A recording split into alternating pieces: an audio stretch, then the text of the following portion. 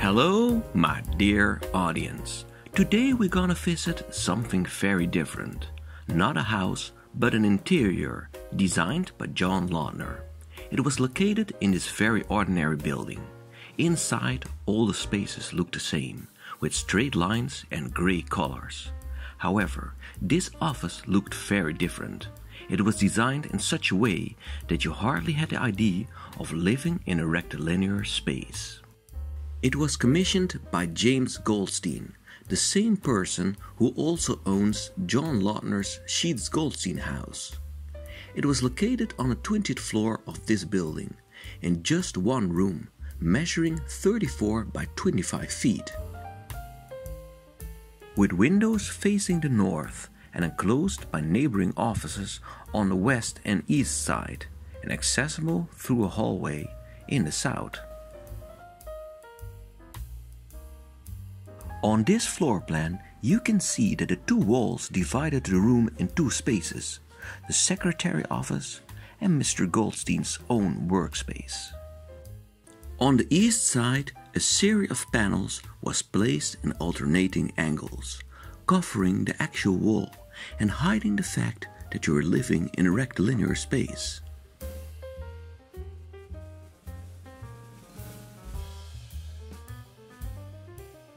When we take a look at the design horizontally, we see that there was a lowered ceiling, again placed in alternating angles and hiding the flat ceiling. This again breaks the idea of living in a box. Through this door, we step inside and we are in the workspace of the secretary. Take a look at how the desk was hung up at the dividing wall, creating a floating desk. The internal walls were placed in various directions. One wall was first placed in a 20 degree angle, but then turned in a 45 degree angle. The second wall was also placed in a 45 degree angle, but then in the opposite direction. Finally, it turned in a 90 degree corner, where it was connected to the other wall with a glass plate. The first wall was leaning backwards, while the other wall was standing upright. The canted wall was clad with tiles of black slate, while the other wall was covered with sheets of brushed copper.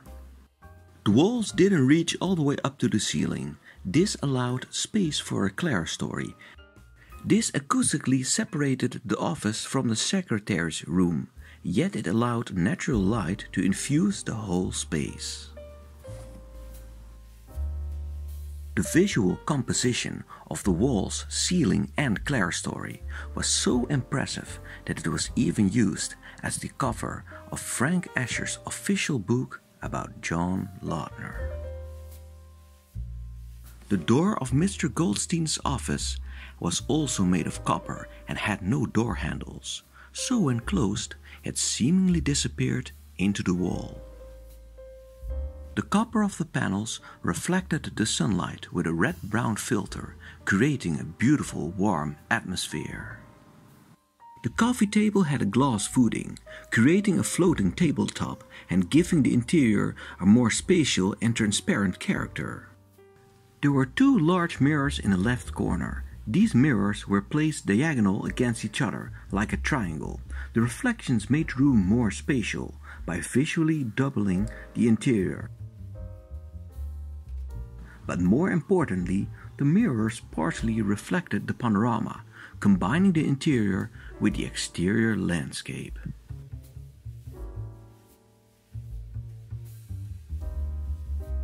The office was perfectly constructed in every way. But keep in mind that it took one and a half year to build and it costed around $400,000.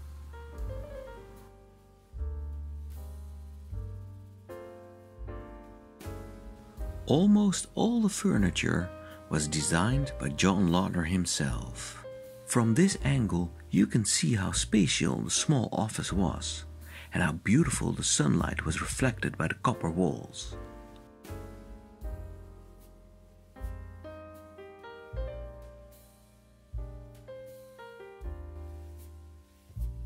The entire floor was covered with black slate tiles, in a triangular pattern. This pattern was partially repeated in the unique shaped rug, which was custom made for the office.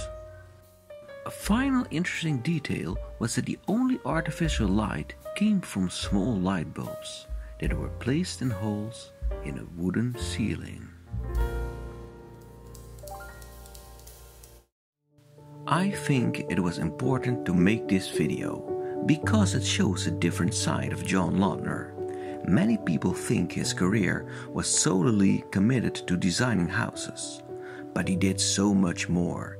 He designed swimming pools, entry gates, staircases, and he did the remodeling of already existing homes. The Goldstein office proves that John Lautner was also great in designing small interiors. But what happened to the office? In 1999, James Goldstein had to move out of the building.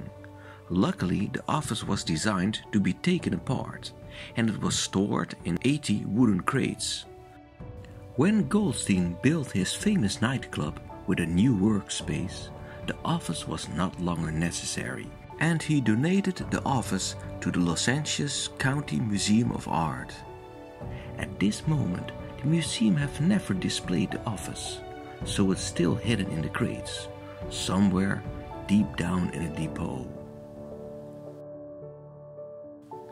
I hope someone sees this video and then decides to permanently display the office in a museum because it's a masterpiece that deserves a large audience.